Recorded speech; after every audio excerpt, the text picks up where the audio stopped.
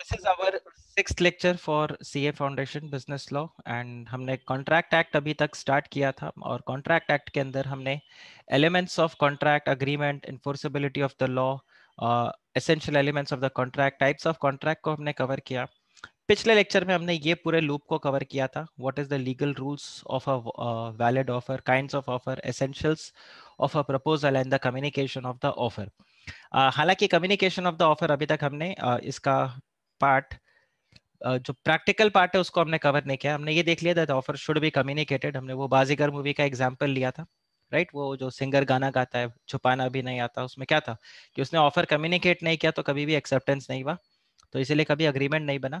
तो offer should be communicated but आज हम रूल्स ऑफ़ कम्युनिकेशन भी यहाँ पर देखेंगे। What are the rules for communication of the offer कब ऑफ़र हम मानते हैं कि कम्युनिकेट हो गया? उससे पहले आज हम कवर करेंगे legal rules with respect to the acceptance valid acceptance and the communication of the acceptance तो आज यही दो टॉपिक्स अपने को कवर करना है. One is the legal rules for the valid acceptance and communication of the acceptance and communication of the offer तो ये दोनों का एक कंबाइंड एग्ज़ाम क्वेश्चन आपको देखने को मिल सकता है. अब अगर यहाँ पे हम देखें, इतने सारे टॉपिक्स को हमने जो कवर किया था आई एम श्योर आपने रिविजन पिछला किया होगा. Because that is very very essential अगर आपने पिछला रिवाइज नहीं किया तो you can anyway look the previous videos ठीक है? जो पुराने वीडियोस है, उसको आप दोबारा से देखो और अपने आप को एक बार ब्रश अप करो। मॉड्यूल से एक बार आप उसको पूरा पढ़ के रखोगे तो it will be very very good for all of you so ये हमने Carlill versus Carbolic smoke ball company और लालमन शुक्ला, ये हमने केस स्टडी भी कवर किया था। Right different types of offer को हमने यहाँ पे कवर किया था लास्ट क्लास में। और ये केस मैंने आप लोगों को रीड करने को दिया था। सो so, ये भी मैं उम्मीद करता हूँ आप लोगों ने पढ़ लिया होगा right and if there is any doubt in that feel free to shoot your doubt right invitation to offer ये एक मैंने आपको बताया था एग्ज़ाम में काफ़ी ज़्यादा कॉमन क्वेश्चन है राइट right? तो अब आ जाता है acceptance now before we actually start with our today's lecture मैं आपसे एक यहाँ पे पॉइंट पूछता हूँ और आप मेरे को उसका आंसर करोगे। आप ये देखो लेट्स से आप जाते हो बिग बाज़ार में, ठीक है? आप बिग बाज़ार में गए और बिग बाज़ार में आपने जो बास्केट होता है, ये देखो, ये आपका जो बास्केट था, ये यहाँ पे ट्रॉली लग गया। ये बास्केट था, इस बास्केट के अंदर आपने बहुत सारा सामान डाला, ठीक है? मतलब ऑलमोस्ट आपने वन आवर शॉपिंग करी, ठीक है? और एक घंटा आपने पूरा शॉप करके इसमें काफ़ी सारा सामान मतलब एक घंटे अगर आपने शॉपिंग करी है तो मतलब आपने काफ़ी सारा मतलब अगर इस अमाउंट का बिल करे तो ऑलमोस्ट दस हज़ार रुपए तक का बिल आ जाएगा, ठीक है? तो आपने इतना शॉपिंग यहाँ पे कर लिया। अब जब आप ये ट्रॉली को लेके काउंटर पे आए, ठीक है? और जब आप काउंटर पे आए तो काउंटर पे आते ही जो वहाँ पे कैशियर था, उसने बोला नो सर ये सामान आपको नहीं बेचा जाएगा, या ये मैडम ये सामान हम आपको नहीं बेचेंगे। आप मुझे बताओ क्या आप उस बिग बाज़ार के मैनेजर को या काउंटर वाले को कंपेल कर सकते हो कि हाँ आप सामान बेचना ही पड़ेगा? क्योंकि आपने जब ये स्टोर को ओपन करके रखा है, the moment you say the store is open, this is a offer. और स्टोर ओपन है तो मैंने आके ये सामान जब बास्केट में डाला तो दिस इज़ एक्सेप्टेंस तो you are bound by the contract. क्या होगा आपका answer?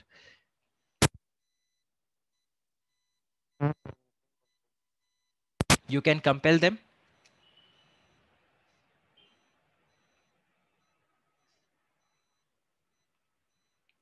Store is open और ये आ गया। Customer cart ready and this is cashier क्या है scenario Can you compel? Okay. What about others? What about others?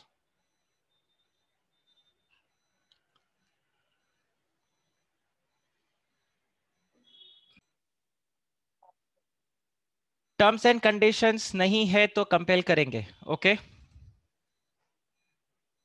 तो आप यहाँ पे देखो सिनेरियो कैसा है ये जो स्टोर ओपन करके रखा है is this offer is this offer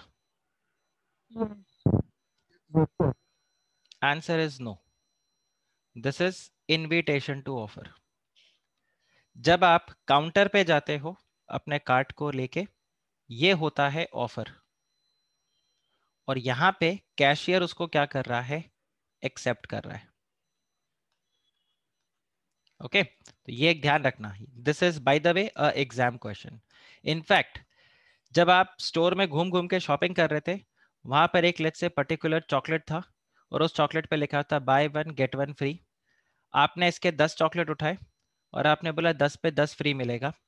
और जब आप कैशियर के पास आए कैशियर बोलता है, आपका ट्वेंटी का पूरे का बिलिंग होगा।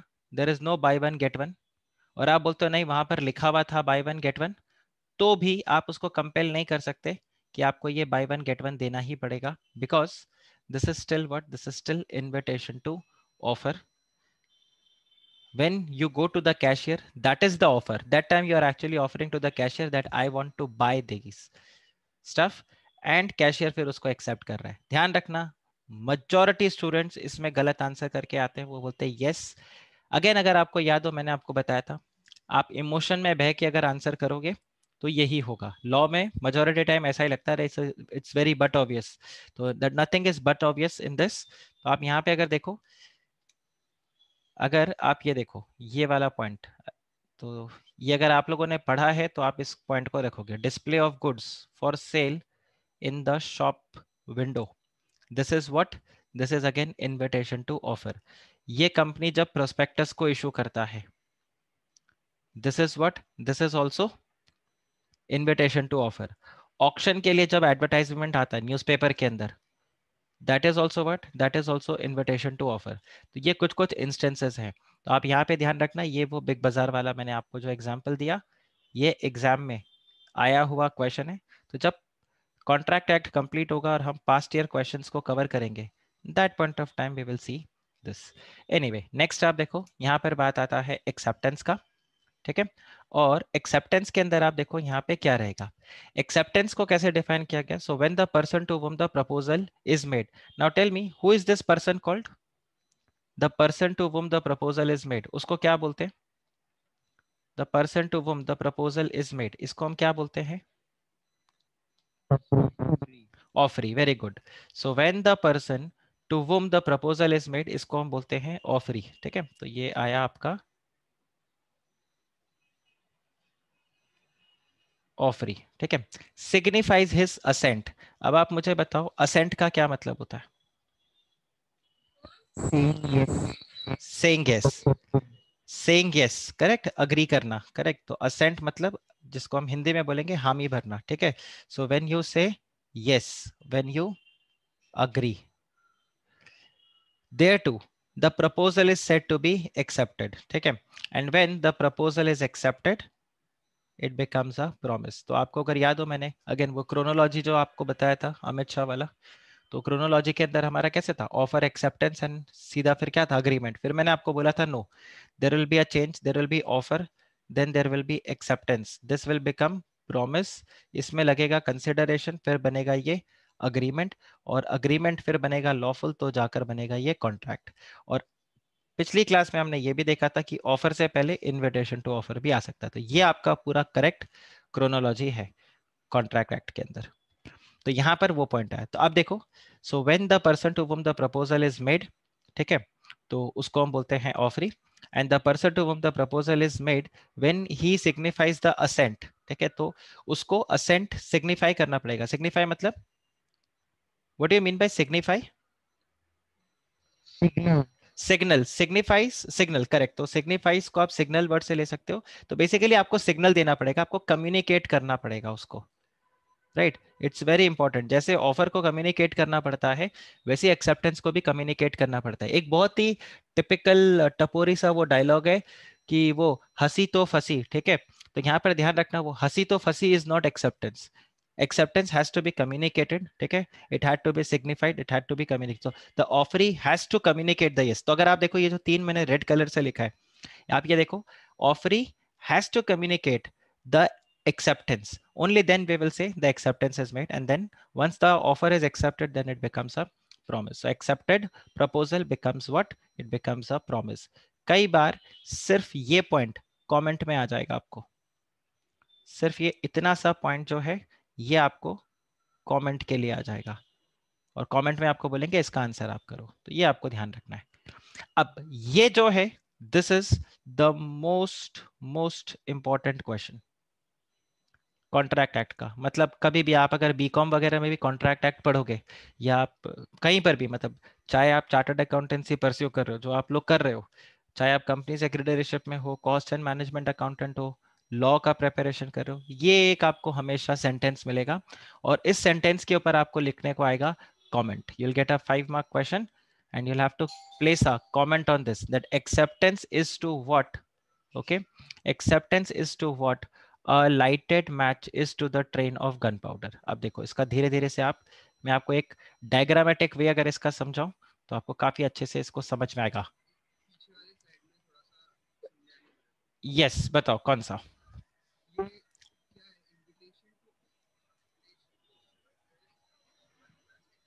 No, no, no, no. Invitation to offer will be followed by a offer.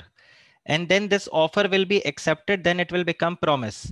Then promise will have consideration, then it will become agreement. Once the agreement is lawful, then it becomes a contract.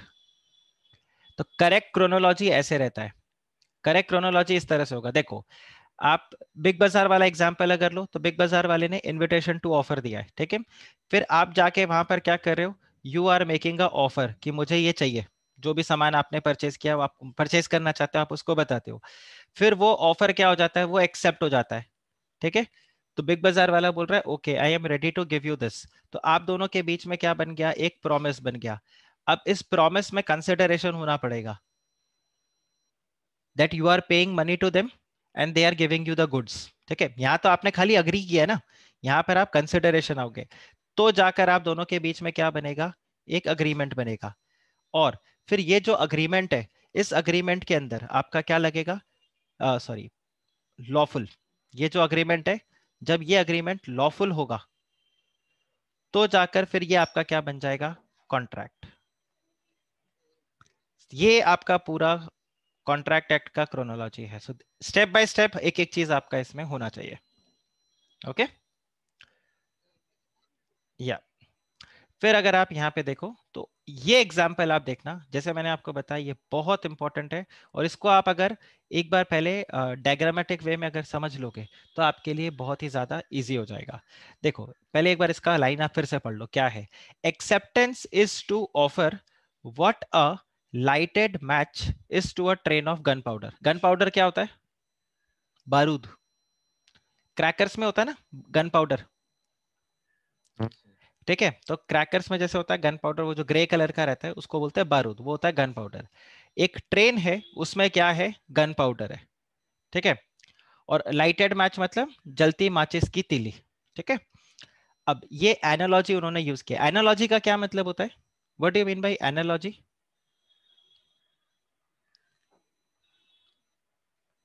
analogy क्या होता है? ये word आपने कभी सुना है? Analogy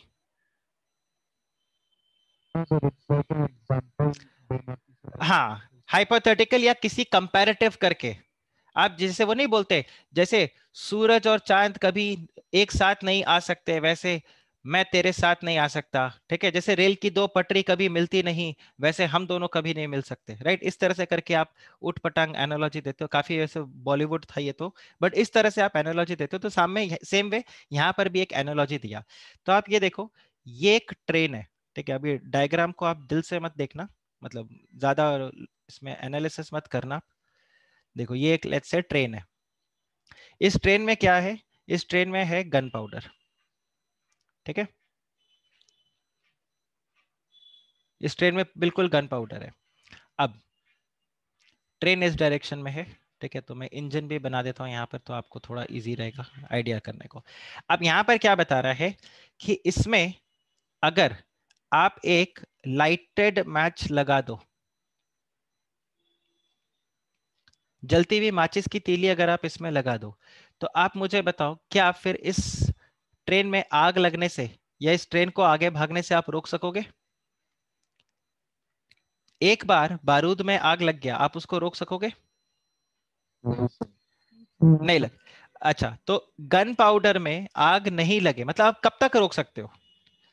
देखो step one में आपको बता रहा हूँ कि देर इज़ अ ट्रेन ठीक है? And this train has gun powder step two में आपको बोल रहा हूँ कि मैंने एक माचिस की तीली ली और उसको लाइट कर दिया, जला दिया। उस माचिस की तीली को मैंने जला लिया, ठीक है? स्टेप थ्री उस जलती हुई माचिस की तीली को, ठीक है?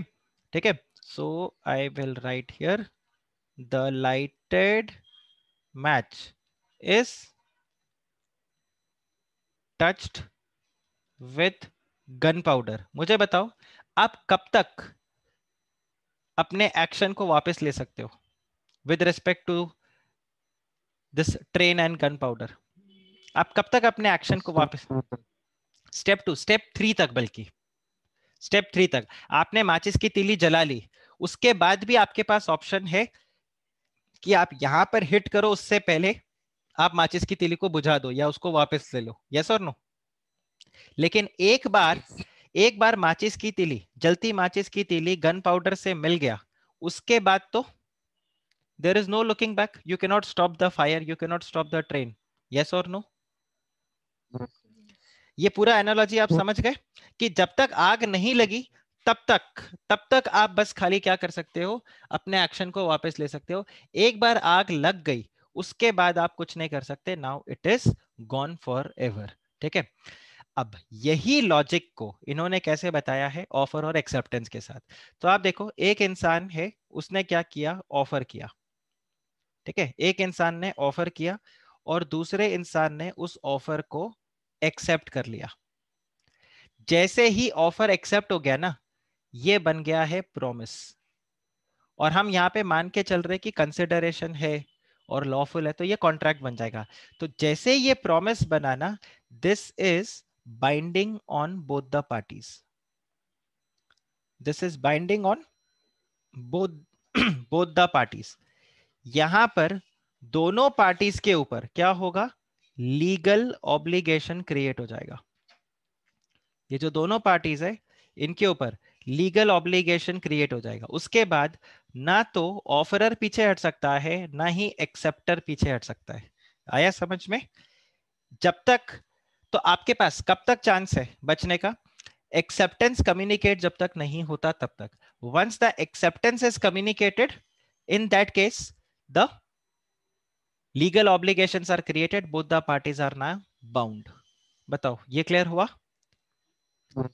Till the time acceptance is not communicated जब तक एक्सेप्टेंस सपोज़ करो यहाँ पे ऑफ़र uh, हो रहा है लेट्स से आपने मेरे को एक ईमेल भेजा ठीक है? और ईमेल में आपने बोला sir will you teach me law ठीक है? आपने मेरे को ईमेल भेज दिया।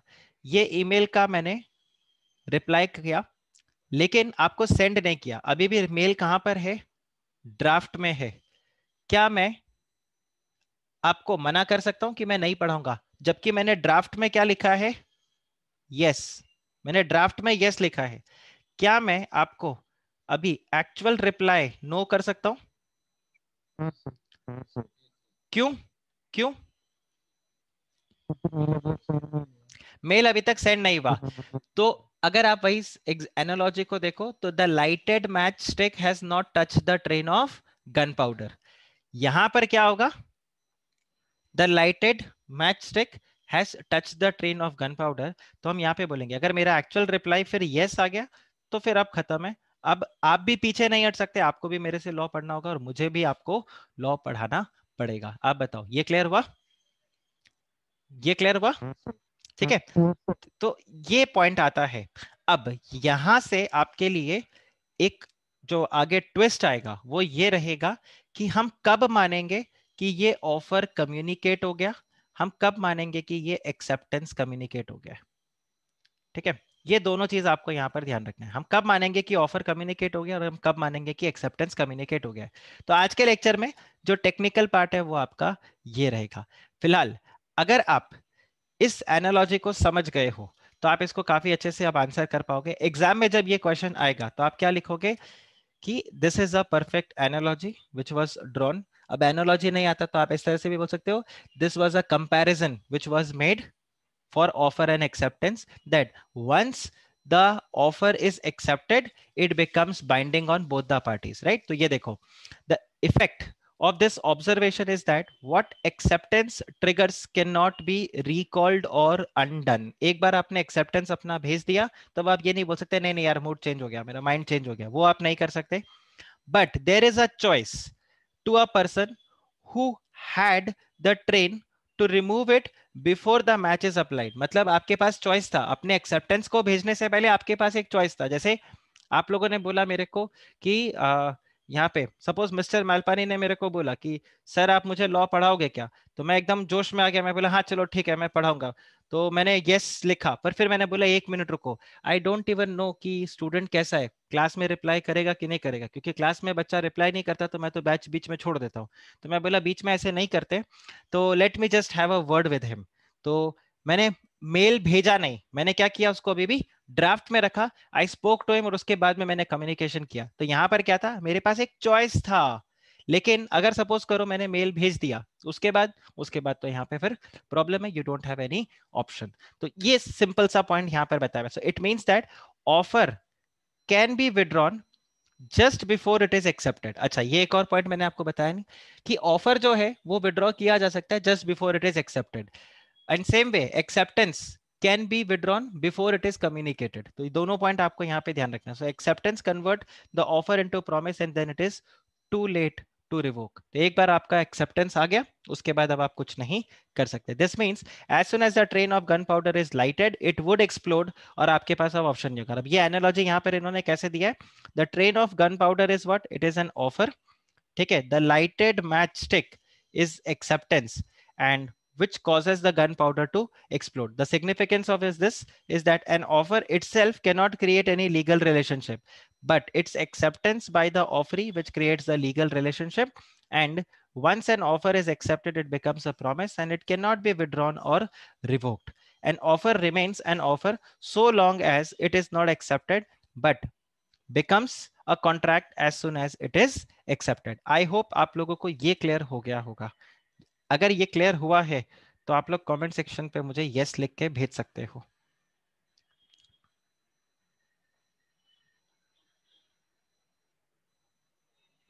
Right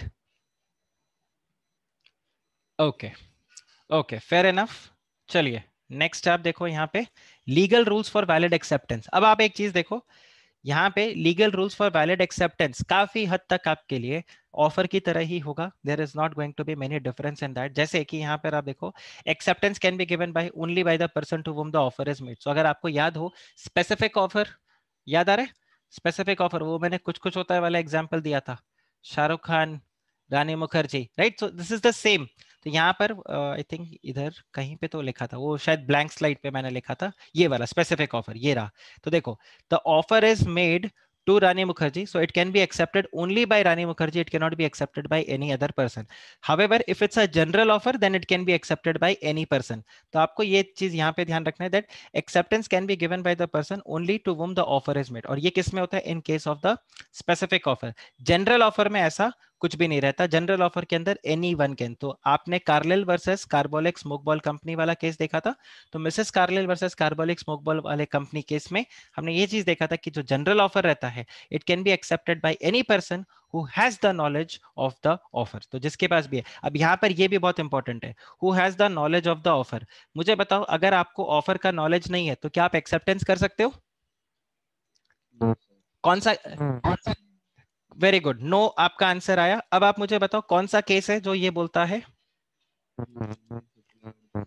लालमन शुक्ला एंड गौरी दत्त वाले केस में। वहाँ पर ये बताया गया था कि अगर ऑफ़र का नॉलेज नहीं है तो एक्सेप्टेंस नहीं हो सकता। वेरी गुड अब नेक्स्ट आता है acceptance must be absolute and it should be unqualified अच्छा यही सेम पॉइंट आपको कैसे आ जाएगा? मुझे बताओ एब्सोल्यूट और अनक्वालिफाइड का क्या मतलब होता है? देखो वो लव आजकल टू में आपने डायलॉग देखा है? वो कार्तिक आर्यन उसको बोलता है, ये क्या है? मतलब hookup breakup I have not seen the movie but वो ट्रेलर में मैंने देखा है। आना है तो पूरा, पूरी तरह से आ। हूँ, नहीं हूँ। आ रहा है आपको समझ में? इस टाइप का एक्सेप्टेंस नहीं चलेगा। तो अगर आप बोलते हो लेट से आई एक्सेप्ट द ऑफ़र लेकिन आप वहाँ पे ऐसे लगा देते हो। बट या फिर आप ऐसे बोलते हो टर्म्स एंड कंडीशंस अप्लाई तो फिर वो आपका वैलिड एक्सेप्टेंस नहीं है। वो आपका वैलिड एक्सेप्टेंस नहीं माना जाएगा। एब्सोल्यूट और अनक्वालिफाइड का क्या मतलब होगा? जैसा आपको ऑफ़र किया गया है, आप उसको 100 परसेंट बिल्कुल वैसा का वैसा, बिना छेड़छाड़ किए, बिना उसमें कोई अमेंडमेंट किए, बिना कोई चेंजेस किए, आप उस ऑफ़र को क्या कर रहे हो? एक्सेप्ट कर रहे हो तो ही वो एक वैलिड एक्सेप्टेंस कहलाएगा, वरना वो वैलिड एक्सेप्टेंस नहीं होगा। अब आप लोगों से मेरा एक क्वेश्चन है, ठीक है? आप मुझे बताओ, what is going to happen if the acceptance is not absolute or let's say the acceptance is qualified. What will happen if the acceptance is what will happen if the acceptance is either not absolute or it is qualified क्या answer करोगे आप? Very very good ये answer ही मेरे को expected था यहाँ पे. It will become what it will become counter offer आप बताओ, ये क्लियर हुआ? It will become counter offer ये जो आपका एक्सेप्टेंस अगर एब्सोल्यूट नहीं हुआ, कुछ क्वालिफाइड रहा, कुछ भी आपने उसमें चेंजेस कर दिया तो वो क्या बन जाएगा आपके लिए? काउंटर ऑफ़र बन जाएगा। फिर सामने वाली पार्टी के ऊपर होगा कि वो इसको एक्सेप्ट करे कि ना करे। तो यहाँ पर वही बताया है as per section seven acceptance is valid only when it is absolute and unqualified and is also expressed in some usual and reasonable manner अच्छा इसका क्या मतलब हो गया कि जिस तरीके से आपको एक्सेप्टेंस देने को बोला गया था, आपने उसी तरह से उसको एक्सेप्ट किया।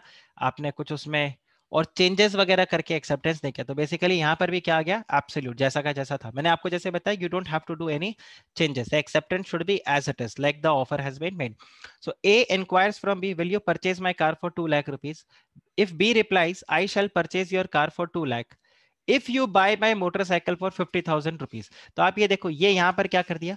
ये यहाँ पे एक और एडिशनल पॉइंट डाल दिया।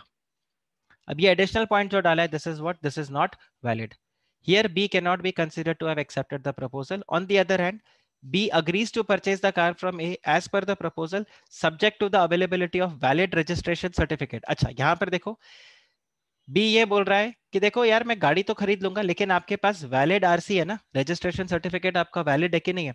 तो क्या ये आपने अनक्वालिफाइड एक्सेप्टेंस दिया क्या आपने एब्सोल्यूट एक्सेप्टेंस नहीं दिया? आंसर इज़ नो ये तो सही बात है। ऑब्वियसली आप जब, अगर किसी से गाड़ी खरीदोगे तो आप ये तो कोशिश करोगे ना कि आपको एक वैलिड आरसी मिले। मतलब पता चले कोई चोरी वाली कार आपको वहाँ पर दे दे। तो that is absolutely fine because expecting a valid title of the car is not a condition आपने यहाँ पर कोई क्वालिफिकेशन नहीं लगाया तो वो बात बिल्कुल सही है। लेकिन अदरवाइज़ अगर आप उसमें कोई और चीज़ें ऐड कर दो, जैसे कि मैं गाड़ी इतने की खरीदूँगा या वैसे खरीदूँगा, ऐसे खरीदूँगा तो ये सब आपका क्या रहेगा? वैलिड नहीं होगा। और ये क्वेश्चन देखना इनडायरेक्टली आ जाएगा that what will happen if the acceptance is not absolute or it is qualified, then in that case it will become a counter offer. फिर नेक्स्ट आता है the acceptance must be communicated तो ये मैंने आपको already बताया कि जब तक आप उसको कम्युनिकेट नहीं करोगे, तब तक ये आपका वैलिड कॉन्ट्रैक्ट नहीं होगा। अब इसमें आपको दो पॉइंट ध्यान रखना है। एक तो क्या? कि कम्युनिकेशन आपको करना होगा। Communication has to be done in a reasonable time I think ये आगे आपको मिलेगा। चलो तो देखो, यहाँ पे मैं बताता हूँ। एक तो कम्युनिकेशन जो भी आपको करना है it has to be done within the reasonable time देखो, वैसे मैं घर से क्लास ले रहा हूँ तो ये एग्ज़ाम्पल मैं ज़्यादा ज़ोर से नहीं बोलूँगा बट मैं आपको बताता हूँ when I was in college 2007 की बात है, ठीक है? There was this girl in my college जिस पर मेरा बहुत स्ट्रॉन्ग क्रश था, ठीक है? I had actually propose her that will you marry me I want to date you I want to marry you तो उस गर्ल ने उस वक्त तो कोई रिप्लाई नहीं किया। उस गर्ल ने 10 साल बाद 2017 में मुझे फ्रेंड रिक्वेस्ट भेजा, और क्या बोलती है? Hey Anand you remember me you had proposed me i want to marry you you know I, I really like you i couldn't say you that time but i really liked you that time also and now i'm ready for marriage अब दिक्कत क्या है 2007 और 2017 के बीच में आया एक साल 2016 जिसमें हो गया था मेरा शादी तो अब आप मुझे बताओ क्या ये एक वैलिड एक्सेप्टेंस होगा क्या आप ये वैलिड एक्सेप्टेंस तो तो मैं यहाँ पे क्या बोलूँगा? This acceptance should have been done within reasonable time मैं बोलता, काश दो साल पहले आप बोल देते तो कम से कम कुछ तो बात बनता। अब तो बिल्कुल भी पॉसिबल नहीं है। इट्स टू लेट तो रीजनेबल टाइम पे आपने नहीं किया। दूसरा, यहाँ पर क्या होता है? जो एक्सेप्टेंस आप यहाँ पे कम्युनिकेट कर रहे हो, एक रीजनेबल टाइम मैंने आपको बताया। दूसरा it has to be done in the desired format it has to be done in the desired format अब डिजायर्ड फॉर्मेट का क्या मतलब हो गया? मैंने आपको बोला, अभी लास्ट वीक मैं अपने लिए इंटर्न्स ढूंढ रहा था, ठीक है? मेरे ऑफ़िस के लिए मैं इंटर्न्स ढूंढ रहा था। तो मैंने इंटर्न्स के लिए वहाँ पर उनको बताया कि जिस एक, दो तीन कैंडिडेट से मेरा इंटरव्यू जिनका मैंने लिया, उनको मैंने बोला कि okay if you are ready then you have to send me a email ठीक है? Please reply me on the email अब एक स्टूडेंट ने क्या किया? मुझे व्हाट्सएप भेजा। और व्हाट्सएप पे बोला, सर आई अग्री अब आप मुझे बताओ, क्या उसको मैं इंटर्न की तरह अपॉइंट कर सकता हूँ? या मैं बोल सकता हूँ कि no I will not appoint you और अगर मैं उसको मना कर देता हूँ I will not appoint you तो क्या वो ये बोल सकता है, sir this is how can you say no offer accept हो गया था। आपने मुझे ऑफ़र किया था will you work like a intern और मैंने आपको एक्सेप्टेंस भेज दिया था। तो अब आप कैसे बोल सकते हो कि आप इंटर्न नहीं हो? आप सिनेरियो समझ में आया आपको? I made a offer I made a offer to someone let's say Gaurav को मैंने एक ऑफ़र किया कि Gaurav will you like to be my intern और उसको मैंने ईमेल पे भेजा था और मैंने बोला था if yes reply to this email ठीक है? गौरव ने मुझे ईमेल नहीं भेजा। गौरव ने मुझे व्हाट्सएप पे यस भेजा। तो क्या ये एक वैलिड एक्सेप्टेंस है? आंसर इज़ नो ध्यान रखना सब कुछ सही है। ये क्या बन जाएगा? ये अनएनफोर्सिएबल कॉन्ट्रैक्ट याद आया आपको? अनएनफोर्सिएबल कॉन्ट्रैक्ट क्यों? क्योंकि सब कुछ सब कुछ सही है लेकिन रिप्लाई जिस फॉर्मेट में करना था उस फॉर्मेट में नहीं किया इसलिए ये कॉन्ट्रैक्ट आपका एनफोर्स नहीं हो सकता because there is no valid acceptance it should be in the desired format इसके अलावा ये जो एक्सेप्टेंस है this acceptance should not be something which जो हम जो हमने बताया था ना silence can not be taken as acceptance ये जो साइलेंस है this silence can not be taken as acceptance हालाँकि इसमें एक्सेप्शन एक आपको मिलेगा but otherwise silence can not be taken as an acceptance जैसे हमने ऑफ़र के टाइम पे भी पढ़ा था कि you should not make the offer should not contain such statement that अगर आपने रिप्लाई नहीं किया अगर आपने रिप्लाई नहीं किया तो uh, ये आपका वैलिड एक्सेप्टेंस मतलब रिमेंबर वो आपको मैंने हंगामा मूवी वाला एग्ज़ाम्पल दिया था कि, ठीक है, अगर आप फ़ोन रख दोगे तो मैं मान लूँगा कि ऑफ़र एक्सेप्टेड है। तो आप ऐसा काम नहीं कर सकते, ठीक है? कि अगर आपने रिप्लाई नहीं किया if you do not reply to me by Saturday I will assume that the offer is accepted so that is also not a valid acceptance the acceptance has to be communicated ये तीन point आप देखना most of the case studies जो आपको मिलेगा, वो यही तीन पॉइंट्स के आसपास मिलेगा। या तो वो रीजनेबल टाइम पे नहीं था, या फिर वो डिजायर्ड फॉर्मेट में नहीं था, या फिर ये जो साइलेंस था। इसको एक्सेप्टेंस मान लिया गया था और बाद में फिर इसको चैलेंज किया गया कि यार देखो, ये आपका वैलिड एक्सेप्टेंस नहीं है। सो so, आप यहाँ पे देखो so to conclude a contract between the parties the acceptance must be communicated in some perceptible form and any conditional acceptance और एक्सेप्टेंस विद वेरिंग और to deviant condition is not an acceptance तो ये हमने पिछले वाले point को एक extend करते हुए बताया। Such conditional acceptance is a counter proposal तो ये मैंने आपको यहाँ पर भी बताया था कि वो क्या बन जाएगा? काउंटर ऑफ़र बन जाएगा and has to be accepted by the proposal if the original proposal has to materialise into the contract further when a proposal is accepted the offer must have the knowledge of the offer which is made to him if he does not have the knowledge there can be no acceptance तो ये लालमन शुक्ला वाला case हो गया। The acceptance must relate specifically to the offer which is made. Then only it can materialize into the contract अब आप यहाँ पे अगर देखो तो अलग अलग यहाँ पे केसेस हैं। जैसे ये वाला केस था, जिसमें एक्सेप्टेंस ठीक है? जिसमें एक्सेप्टेंस किया, लेकिन एक्सेप्टेंस करके उसको सेंड नहीं किया। वो जो ड्राफ्ट अग्रीमेंट था, जिसमें एक्सेप्टेंस आपने किया था, वो ड्राफ्ट अग्रीमेंट आपके ड्रॉवर के अंदर ही रह गया। जो इंसान ने जिसको एक्सेप्ट किया था, उसने अपने ड्रॉवर में, जो मैंने गौरव वाला एग्ज़ाम्पल दिया था I think Malpani, mister Malpani वाला जो एग्ज़ाम्पल मैंने दिया था राइट जिसमें मैंने क्या बोला था कि मैं ईमेल पे उसको ड्राफ्ट करके ही छोड़ दिया, उसको सेंड नहीं किया। तो यहाँ पर भी क्या हो गया? सेम इसी तरह से हुआ था। कॉन्ट्रैक्ट हुआ कॉन्ट्रैक्ट एक्सेप्ट किया, लेकिन वो अग्रीमेंट को सेंड नहीं किया, अपने ड्रॉर में रख के भूल गया। तो यहाँ पर क्या होगा? देर इज़ नो कॉन्ट्रैक्ट इसके अलावा आप यहाँ पे देखो एम ने ऑफ़र किया एन को कि वो 280 पाउंड्स के अंदर अपने प्रॉपर्टी को बेचना चाहते हैं। एन ने बोला, ठीक है मैं खरीदूँगा 280 पाउंड में बट मैं अभी 80 पाउंड दे रहा हूँ। 200 पाउंड जो है बचा हुआ, वो मैं आपको 50-50 पाउंड के चार इंस्टॉलमेंट में पे कर दूँगा। Right right. अब ये क्या एक वैलिड एक्सेप्टेंस होगा? आंसर इज़ नो ये वैलिड एक्सेप्टेंस होगा अब आप ये नहीं बोल सकते, सर 280 पाउंड तो एक्सेप्ट कर लिया ना उसने। क्या फ़र्क पड़ रहा है, सर? वो किस तरीके से पे कर रहा है? अब प्रॉब्लम ये है, ये 280 पाउंड में अगर उसने खरीदा है तो जब ऑफ़र किया गया था, वहाँ पर कुछ ई e का ऑप्शन दिया नहीं गया था। वहाँ पर यही था कि 280 पाउंड दो और आप ये जो प्रॉपर्टी है उसके आप ओनर बन जाओ, वो आप ले लो। लेकिन यहाँ पर एन ने क्या कर दिया? एन ने यहाँ पे ज़बरदस्ती अपने आप suo motu. Suo motu law के अंदर एक टर्म होता है जिसको हम बोलते हैं अपने आप ऑन इट्स ओन मोशन ठीक है? अपनी बुद्धि लगा के उसने इसको ईएमआई e बना दिया, बोला, अस्सी पाउंड तो अभी लो और बचे हुए 200 का मैं तेरे को पचास पचास पाउंड करके चार महीने में पे कर दूँगा। तो यहाँ पर भी क्या बोला गया, ये एक्सेप्टेंस वैलिड नहीं है, क्योंकि ये क्या हो गया क्वालिफाइड एक्सेप्टेंस हो गया। आपने ई e का ऑप्शन डाल दिया। हाँ अब अगर एम इस चीज़ को अग्री कर जाता है then there is no problem but then in that case M has to accept N को एक्सेप्ट नहीं करना है. N will now become the offer तो जैसे ही इसने ईएमआई e कर दिया तो ये क्या बन गया आपके लिए? This has become a counter offer same way आप अगर यहाँ पे देखो A offers to sell his house to B for rupees one lakh B reply I can pay eighty thousand for it तो अब ये भी क्या हो गया? काउंटर ऑफ़र हो गया. So this is treated as a counter offer ठीक है? इसी तरह से यहाँ पे बाकी this is fine acceptance must be in the prescribed mode ये भी मैंने आपको ऑलरेडी बता दिया। तो अगर आप प्रिस्क्राइब मोड पे नहीं देते हो तो फिर यहाँ पर आपके लिए वो वैलिड एक्सेप्टेंस नहीं होगा।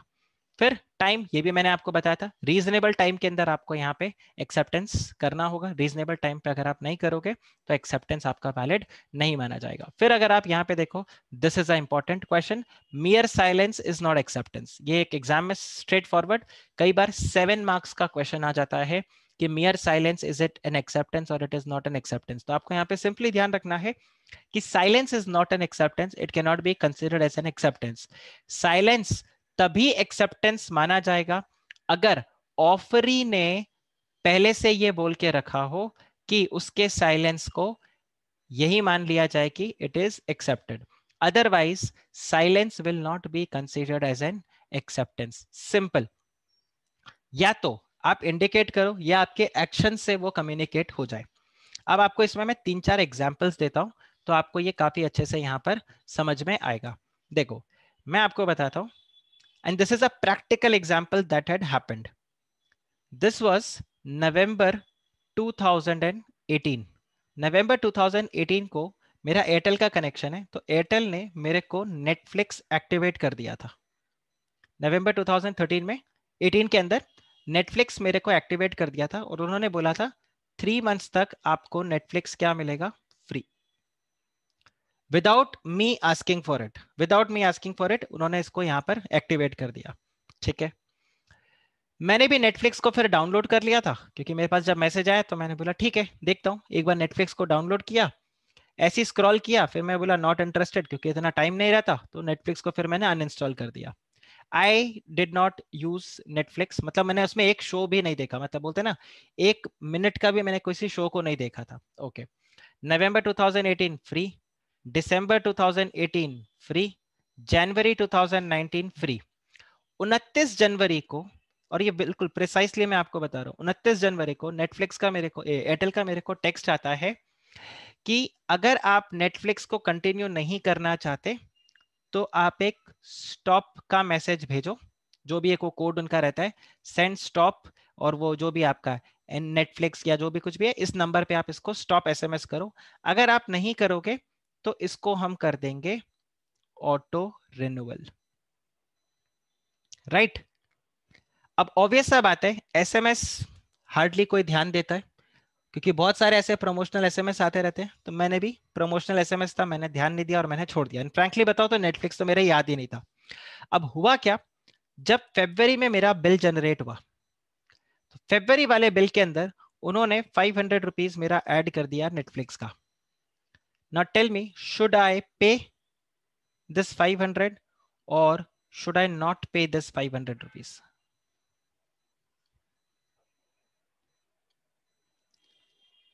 scenario समझ में आया आपको? एक तरीके से एयरटेल ने क्या किया मेरे को? एयरटेल ने एक तरीके से मेरे को ऑफ़र कर दिया नेटफ्लिक्स और बोला कि अगर आप ये ऑटो रिन्यूअल नहीं चाहते तो स्टॉप का मैसेज भेज दो। अगर आप स्टॉप का मैसेज नहीं भेजोगे तो एयरटेल नेटफ्लिक्स को रिन्यू कर देगा। हम मान लेंगे ये आपका एक्सेप्टेंस है। अब बताओ is it valid acceptance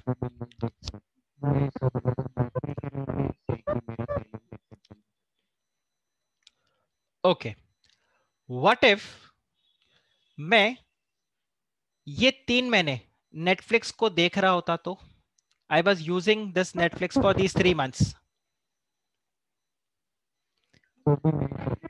तो भी नहीं. ओके व्हाट इफ़ फेब के महीने में मैं नेटफ्लिक्स को यूज़ कर रहा होता तो? अब आप देखो, यहाँ पर दो सिचुएशन आएगा। यहाँ पर आप ये बोलोगे, सर, फेब के महीने में आपने नेटफ्लिक्स को यूज़ किया था या आपने नेटफ्लिक्स को यूज़ नहीं किया था? अगर सर, फेब के महीने में आपने नेटफ्लिक्स को यूज़ किया तो आपका जो एक्सेप्टेंस है, वो कैसे आ गया? By your action no doubt इन्होंने साइलेंस को एक्सेप्टेंस मान के आपके अग्रीमेंट को, इसको आपको कॉन्ट्रैक्ट के अंदर लेके आए, लेकिन आपका एक्शन था।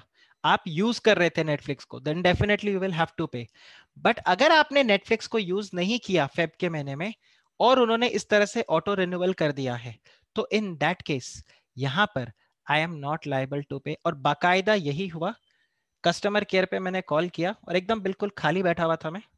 कस्टमर केयर पे कॉल किया और उनको मैंने बोला, चलो, आज आपको कॉन्ट्रैक्ट एक्ट पढ़ाते हैं, ठीक है? 1872 और उनको पूरा पूरा पॉइंट करके मैंने बताया।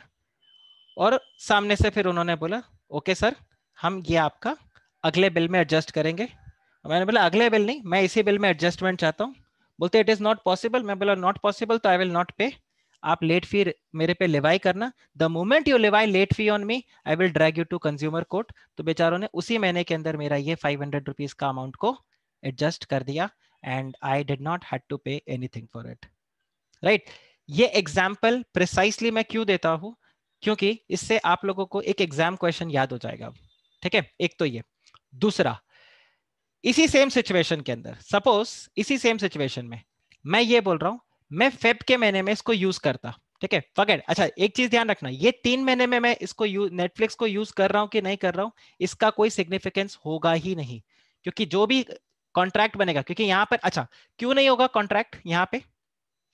ये जो नवंबर दिसंबर जनवरी फ्री है because there is no consideration involve ठीक है? There is no consideration involve यहाँ पर कोई पैसा इन्वॉल्व नहीं है। तो अगर कंसिडरेशन नहीं है तो कोई कॉन्ट्रैक्ट ही नहीं है, कोई अग्रीमेंट ही नहीं है। आया? अब मैं आपको यहाँ पे बोलता हूँ। फेब में ये ऑटो रेन्यू हो गया।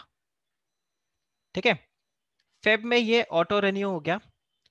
और फेब में सपोज़ करो मैं नेटफ्लिक्स को यूज़ कर भी रहा था। उसके बाद मैंने मार्च महीने में नेटफ्लिक्स को बिल्कुल भी नहीं देखा। क्या अब मैं मार्च में उनको बोल सकता हूँ कि देखो मैंने नेटफ्लिक्स मार्च में तो यूज़ किया ही नहीं। हाउ कैन यू चार्ज या उनको मैं बोलू फेब हाँ। में आपने ऑटो रिन्यू कैसे किया? मेरे से तो बिना पूछे ऑटो रिन्यू किया।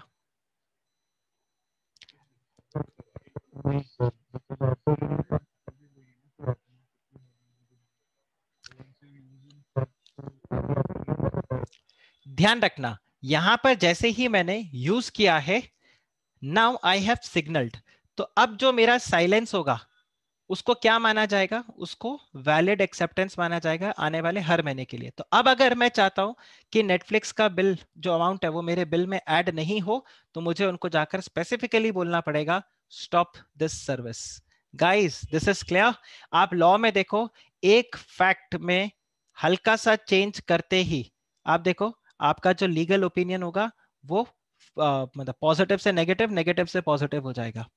गाइस समझ में आया? इसीलिए जब भी कोई केस स्टडी का क्वेश्चन आए तो उसको बहुत ध्यान से पढ़ना। इंस्टीट्यूट क्या स्मार्ट वर्क करता है कई बार? आपका जो केस स्टडी होगा ना, वो केस स्टडी के अंदर जो मॉड्यूल से होगा मॉड्यूल से as it is case study उठाकर देता है। ठीक है? लेकिन अगर एग्जामिनर को थोड़ा सा भी मस्ती करना है मिसचीफ अगर उसको करना है तो वो क्या करेगा? मॉड्यूल के केस स्टडी में एक हल्का सा चेंज कर देगा। अब इससे होगा क्या? जो रट्टा मार के आया है, या जिसने केस स्टडी को मतलब जो ध्यान से पढ़े बिना सीधा आंसर करे कि अरे, ये तो मेरे को याद है, वो बेचारा इसमें फंस जाएगा। आया समझ में? इसीलिए आपको मैं बताता हूँ कि केस स्टडीज़ को जब आप अटेम्प्ट करोगे तो बहुत ध्यान से अटेम्प्ट करना। एक एक चीज़ों को प्रॉपरली आप पढ़ो। हालाँकि आपको बहुत कॉम्प्लिकेटेड केस स्टडी नहीं पूछते। तीन चार लाइन का केस स्टडी होता है और उसको भी मैं तो केस स्टडी नहीं बोलूँगा। सीधा सीधा बेसिक होता है। बट फिर भी ध्यान रखना, इस तरह के पॉइंट्स हल्का सा भी change and your answer can be from positive to negative and negative to positive तो अब आप इस सेंटेंस को पढ़ो तो आप इसको अच्छे से अंडरस्टैंड कर पाओगे और इसको आंसर भी कर पाओगे।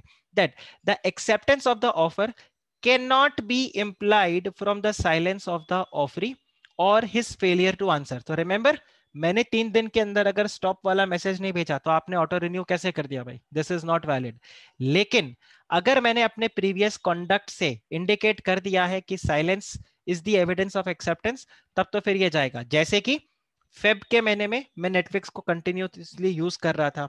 या फिर मार्च के महीने में मैं यूज़ नहीं कर रहा था, लेकिन फेब में मैंने कोई ऑब्जेक्शन रेज नहीं किया था। तो ये क्या माना जाएगा? ये एक वैलिड एक्सेप्टेंस माना जाएगा। अब आप ये एग्ज़ाम्पल देखो, ये एग्ज़ाम के अंदर आया था। ठीक है? A subscribed a weekly magazine for one year ठीक है? तो एक मैगजीन है, हर हफ़्ते आपके घर पे आएगा, आपने उसको सब्सक्राइब किया। अब एक साल का जो टाइम पीरियड था, वो एक्सपायर हो गया। उसके बाद भी the magazine company continue to send him the magazine for the next five years पाँच साल तक मैगजीन उसको फिर भी आता गया। और ए महाशय वो भी कंटिन्यू कर रहा था इस मैगजीन को यूज़ करने का। और जब उससे पैसे मांगे गए तो उसने बोला कि नहीं, मैं तो पे नहीं करूँगा। और क्यों नहीं पे करेगा? बोला, मैंने तो खाली एक साल का बोला था, उसके बाद वाले पाँच साल में जो भी आपने भेजा है, वो तो आपने अपनी मर्ज़ी से भेजा है। मैंने थोड़ी ना आपको बोला था। या यहाँ पर ये वैलिड एक्सेप्टेंस नहीं होगा तो यहाँ पर क्या रहेगा? A would be liable to pay as his continued use of the magazine was the acceptance of his offer. आप बताओ, ये क्लियर हुआ? Guys does this make sense ध्यान रखना मोस्ट इंपॉर्टेंट मतलब एक्सेप्टेंस के अंदर अगर आप देखो तो ये आपका एक लगभग इंडिपेंडेंट क्वेश्चन बन सकता है एग्ज़ाम के अंदर। फाइव से सेवन मार्क्स के लिए भी आपको ये क्वेश्चन पूछा जा सकता है। आप बताओ। Is this clear seven marks के लिए आपको पता है कैसे होगा? वो आ, मतलब mere silence is not acceptance और उसके बाद में फिर उसमें और भी चीज़ों को वो ऐड करके देगा। हो सकता है आपको एक सिचुएशन दे दे जैसे ये इस टाइप का एक केस देके नीचे आपको वो लिख देगा mere silence is not acceptance comment कुछ इस तरह से करके। हम देखेंगे जब पास्ट ईयर क्वेश्चंस आएगा ना तब हम लोग इसको चेक करेंगे। तो आप यहाँ पर ध्यान रखना कि जब ये क्वेश्चन आएगा तो उसमें आप पूरा फिर और सपोज़ करो सिर्फ़ इतना सा आ गया mere silence is not acceptance comment तो फिर यहाँ पर आपको क्या करना होगा? You will have to provide the legal rules for the acceptance और उसके बाद में आप ये वाला पॉइंट दोगे. ओके गाइस क्लियर ये ध्यान रखना ये एक स्ट्रेट फॉरवर्ड क्वेश्चन भी आ सकता है और ये आपको एक केस स्टडी बेस्ड क्वेश्चन भी आ सकता है but mere silence is not acceptance ये इंपॉर्टेंट तो पूरे एक्सेप्टेंस वाले में अगर आपको बताऊँ तो एक तो ये जो मैंने आपको बताया था सर विलियम एनसन का, ठीक है acceptance is to offer what a lighted match is to a train of gunpowder ये कमेंट में काफ़ी कॉमन क्वेश्चन गिरता है और एक ये वाला क्वेश्चन आपको काफ़ी कॉमन मिलेगा. Mere silence is not an acceptance right फिर आप देखिए एक्सेप्टेंस बाय कंडक्ट और एम्प्लाइड एक्सेप्टेंस तो ये इसी का एक्सटेंशन आ जाता है। तो अगर आप अपनी हरकतों से प्रूफ कर देते हो कि ये आपका एक्सेप्टेंस है तो फिर आपको वहाँ पर बोलना का ज़रूरत नहीं पड़ेगा। हमने ये भी देखा था express contract implied contract implied contract में क्या था? यू एक्सेप्ट और you enter into the contract by your actions ठीक है? तो यहाँ पर इम्प्लाइड एक्सेप्टेंस ऐसी रहेगा। जैसे ट्रेन ये भी एक आपका एग्ज़ाम क्वेश्चन है, जो बस बस स्टॉप पे बस रुका और आपने बस को बोर्ड कर दिया। और जब जो कंडक्टर है वो आपके पास टिकट के पैसे मांगने के लिए आया तो आपने बोला कि मैं तो पेमेंट नहीं करूँगा। क्यों नहीं करूँगा? क्योंकि आपने बोला, मैंने तो ऑफ़र को एक्सेप्ट ही नहीं किया। There was no offer which was communicated तो मैं एक्सेप्टेंस मैंने तो ऑफ़र को एक्सेप्ट ही नहीं किया। तो अब अगर एक्सेप्ट ही नहीं किया तो मैं पेमेंट क्यों करूँ? ऐसी ट्रेन को आप बोर्ड कर जाओ बिना टिकट के। और फिर बाद में बोलो कि there was no acceptance so how can you ask for consideration तो यहाँ पर ध्यान रखना the moment you have boarded the bus the moment you have boarded the train let's say the moment you have entered the railway station also right without a platform ticket और without a travelling ticket then in that case it is what it is implied acceptance तो यहाँ पर आपको ये एक और ध्यान रखना है कि आप अपनी हरकतों से भी एक्सेप्टेंस कम्युनिकेट कर सकते हो। पर उसमें आप ये नहीं बोलोगे कि कम्युनिकेट नहीं हुआ। Still the acceptance is communicated देखो, ये जो पॉइंट है, ये अभी भी जा रहा है. Acceptance is communicated this can be communicated right this can be communicated via words और it can be communicated via acceptance your action तो भी कोई गड़बड़ नहीं है. It is going to be a valid acceptance आप पहले मुझे बताओ, यहाँ तक आपको क्लियर हुआ कि नहीं हुआ? यहाँ तक आपको क्लियर हुआ. अगर आपको अब यहाँ तक क्लियर हुआ तो अब मैं आपको यहाँ पे बताता हूँ communication of the offer and communication of the acceptance इसका आज आपको मैं एक बेसिक पॉइंट बताऊँगा and then I will leave the class और आगे का फिर जो प्रोविज़न रहेगा वो मैं आपको प्रोबेबली अगर आया तो नेक्स्ट लेक्चर के अंदर आगे आपको मैं कवर करवाता हूँ। आप यहाँ पे देखो इधर क्या रहता है। बात आता है जब कम्युनिकेशन ऑफ़ ऑफ़र का।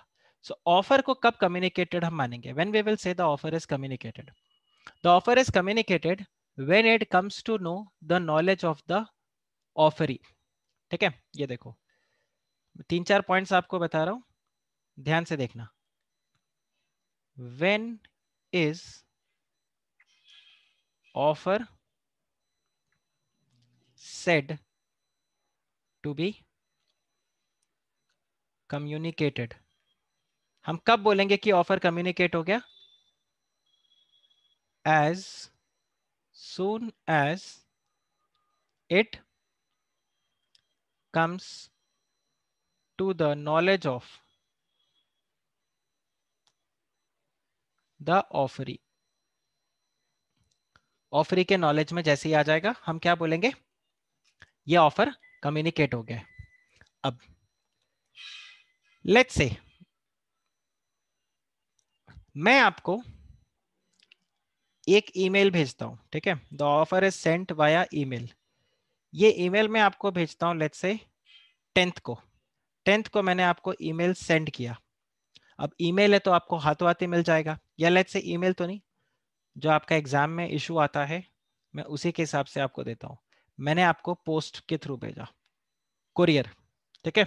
वाया कोरियर आपको एक लेटर मैंने पोस्ट किया, उस लेटर के अंदर ऑफ़र है। तो ये दस को मैंने आपको सेंड किया। ये ट्वेल्थ को आपको मिल गया।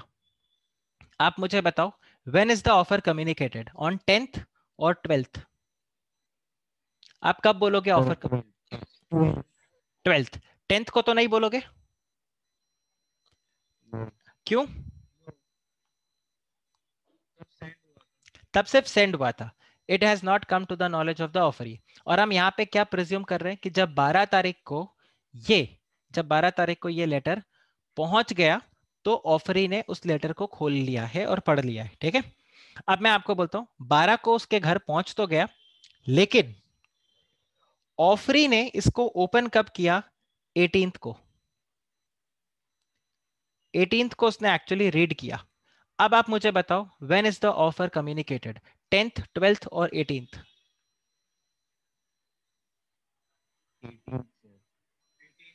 eighteenth eighteenth why because यहाँ पर मुद्दे की बात क्या है? When it comes to the knowledge of the offeree तो जब लेटर उसके पास पहुँच गया और उसने रीड नहीं किया तो it is still not come to the knowledge of the offeree it comes to the knowledge of the offeree only when he reads the letter ये याद रहेगा?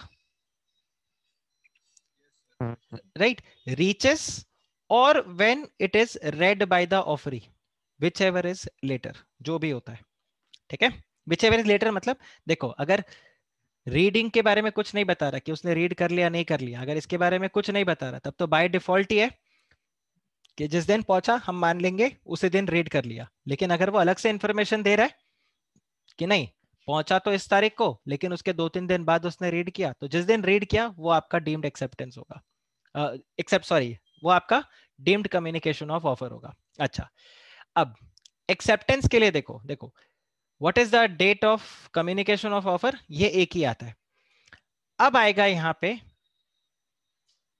डेट ऑफ़ एक्सेप्टेंस अगर आप डेट ऑफ़ एक्सेप्टेंस देखोगे तो date of acceptance के अंदर दो चीज़ें आएँगी, ठीक है? डेट ऑफ़ एक्सेप्टेंस में दो चीज़ें आएँगी।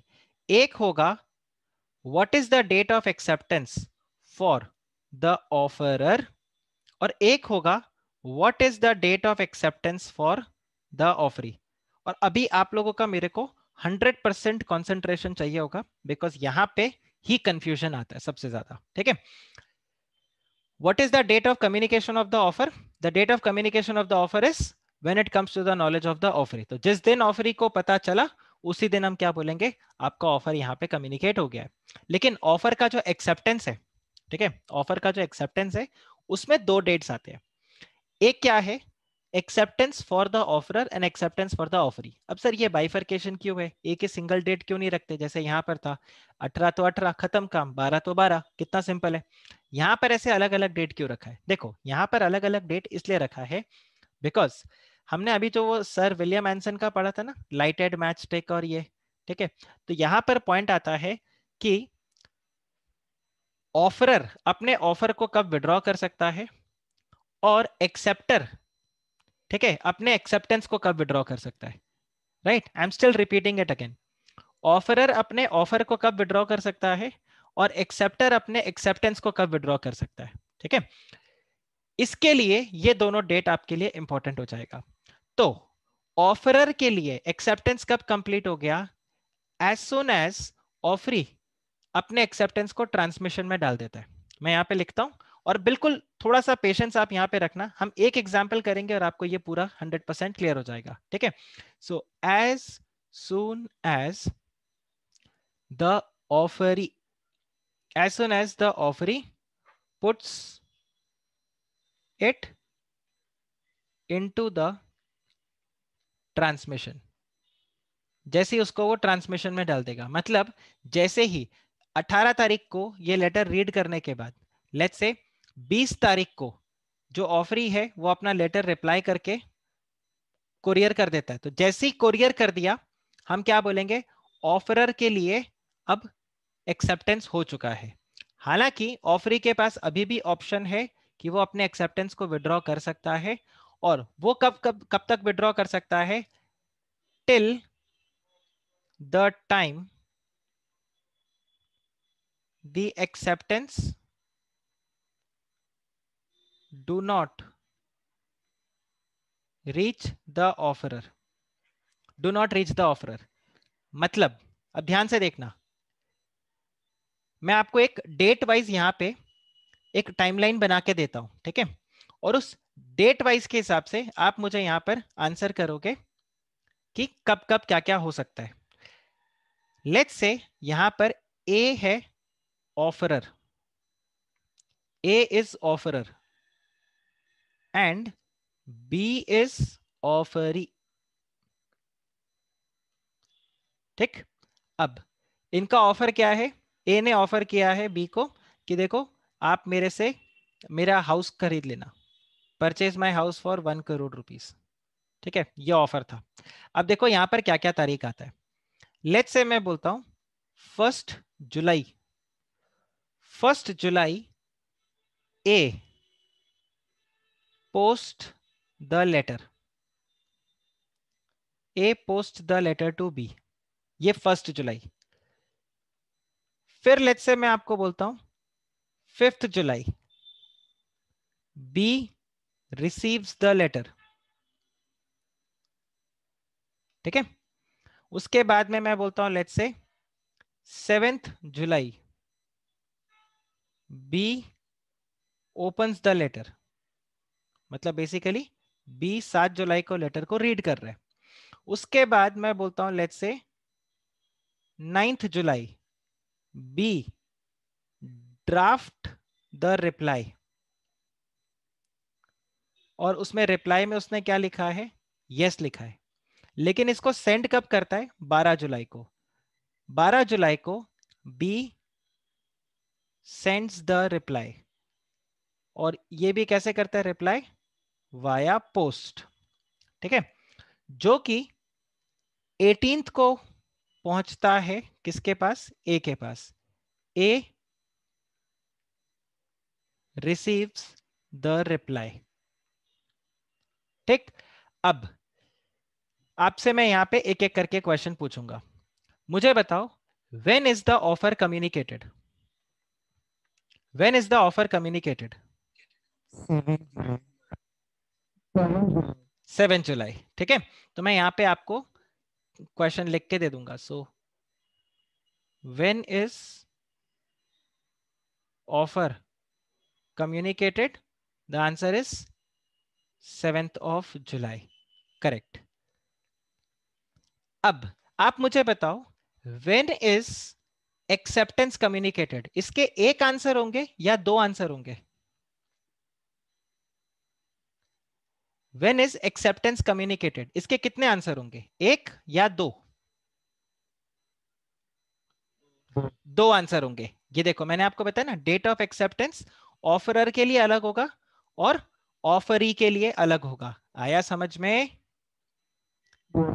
राइट सो so, यहाँ पर मैं लिखता हूँ date of acceptance date of acceptance for A अलग एंड फॉर बी अलग। तो आप मुझे बताओ ए के लिए डेट ऑफ़ एक्सेप्टेंस कब होगा? ए इज़ द ऑफरर तो ए के लिए ए के लिए एक्सेप्टेंस कब होगा? As soon as it is put into the transmission correct now when it is put into the transmission when it is put into the transmission कितना? ट्वेल्थ जुलाई B जो offeree है ऑफरी जब अपने रिप्लाई को transmission में डाल देता है उसने देखो 12 तारीख को पोस्ट में डाल दिया। तो ए के लिए ऑफ़र कब एक्सेप्ट हो गया है? 12 जुलाई को ही एक्सेप्ट हो गया है। ठीक है? मतलब 12 जुलाई के बाद ए अपने ऑफ़र को विड्रॉ नहीं कर सकता। समझा? बच्चा लोग ये ये समझा? यहाँ से फ्रॉम नाउ राइट यहाँ पर ऐसे लिख देता हूँ। From now a cannot withdraw the offer.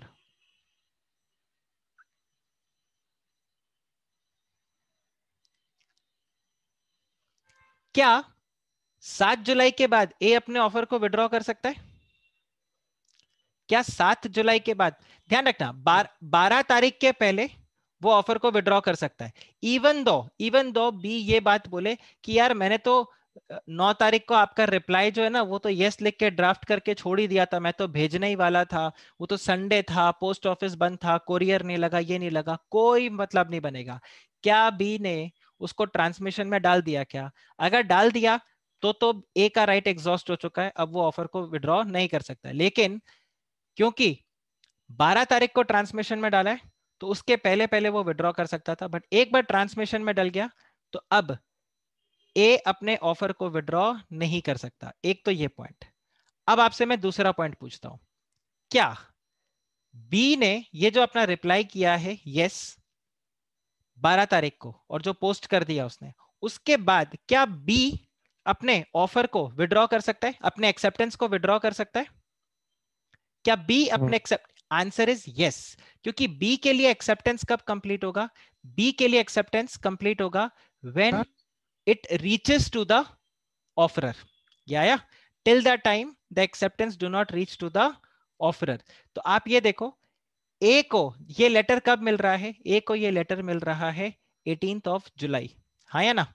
तो बी के लिए एक्सेप्टेंस कब कंप्लीट होगा?